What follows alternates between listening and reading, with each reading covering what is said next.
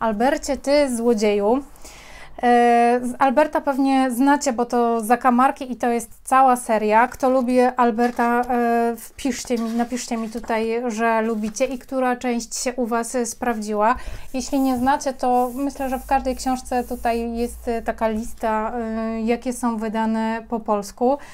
Albert jest bardzo, bardzo lubiany, chociaż to podejście tutaj, te, te wszystkie opowieści i jego przygody, ja bym powiedziała, że one nie są takie, mm, takim typowym spojrzeniem na wychowanie, jakie mamy w Polsce, takie bardzo bliskościowe. Jest to taki trend, który teraz y, się przebija.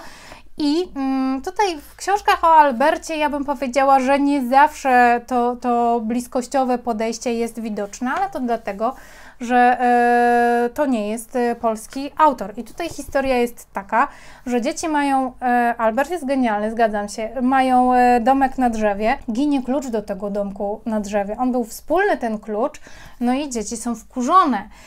I dziewczynka, jedna koleżanka Alberta oskarża właśnie jego o to, że zabrał ten klucz. Pospiesz się, Albercie, jest idealny dla rodziców. A w ogóle to jest dużo takich treści idealnych dla rodziców w tym Albercie, to jest prawda. A moim zdaniem to jest takie do, dosyć e, trudne.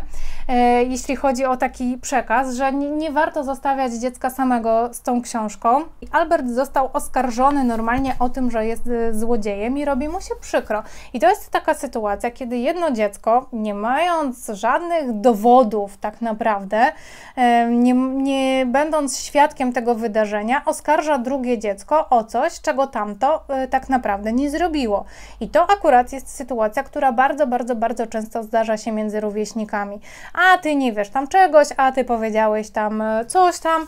I teraz jak tu się uporać z tą sytuacją? I cała historia jest właśnie o tym, że Albert próbuje się uporać z tą sytuacją e, i, jest, i też są pokazane jego emocje takie, e, takie dosyć przykre no bo jemu jest przykro, został niesłusznie oskarżony. I teraz on tutaj próbuje się z tym uporać tak, jak się próbują z tym uporać dzieci, bo myślę, że dorosły zrobiłby to inaczej. Dzieci próbują udowodnić, e, że zamiast powiedzieć, olewam to oskarżenie, nie dotyczy mnie, to ja tego nie zrobiłem. Dzieci nie potrafią czegoś takiego powiedzieć, chociaż my czasami e, bardzo tego od nich e, wymagamy.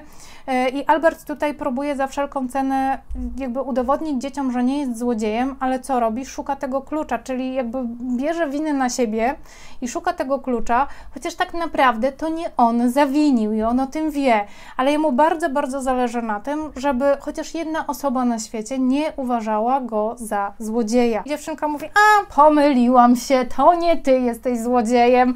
I tyle tak naprawdę i Albert jest już zadowolony, bo, e, bo nie wszyscy na świecie uważają go za złodzieja, ale jest tutaj też pokazane, że e, te emocje w nim zostają i w innych dzieciach również. I to jest moim zdaniem świetna książka do tego, żeby porozmawiać z naszymi dziećmi o tym, że nie rzucaj bezpodstawnych oskarżeń, nie mów, jeżeli nie wiesz, jeżeli nie widziałeś, nie przyłapałeś kogoś na gorącym uczynku, tylko tak ci się wydaje.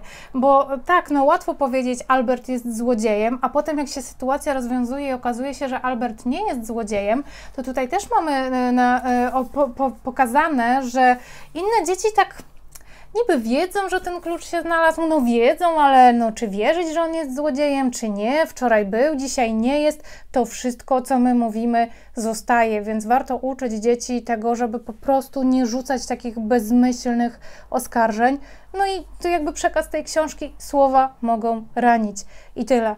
I tutaj sytuacja się rozwiązuje, ten klucz się znajduje. Takie książki, moim zdaniem, powinny być w przedszkolach przerabiane, normalnie przerabiane, bo tutaj jest tyle emocji, tyle zagadnień do przerobienia, e, że tak naprawdę na jednych zajęciach ja, ja bym tego z dziećmi nie zrobiła. Bardzo fajne wyjście do rozmawiania o ważnych sprawach i oczywiście nie tylko ten tytuł, bo jest ich e, tutaj o wiele więcej.